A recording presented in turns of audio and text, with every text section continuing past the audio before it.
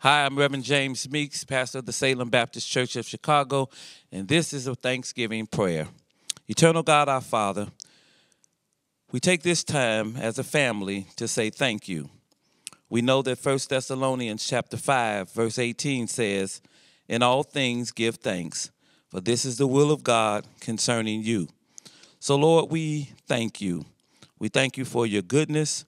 We thank you for your mercy in our lives. We thank you for the many, many ways that you have proven yourself to be God in our lives. We thank you for keeping us safe during this pandemic. Thank you for continuing to provide for us.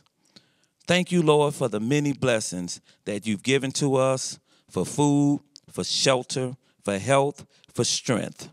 God, we pause and we thank you for being our God in the time of trouble. You have been faithful in our sadness. You've given us comfort in our weakness. Your strength has been perfect in us, even in our sickness. You've been our healer. And in times of loss, you've given us hope.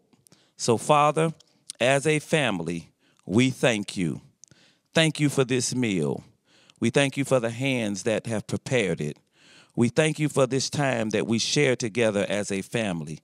We ask that you will continue to keep your blessings upon our household. And we ask that you would extend your love through us so that others may come to know your great love.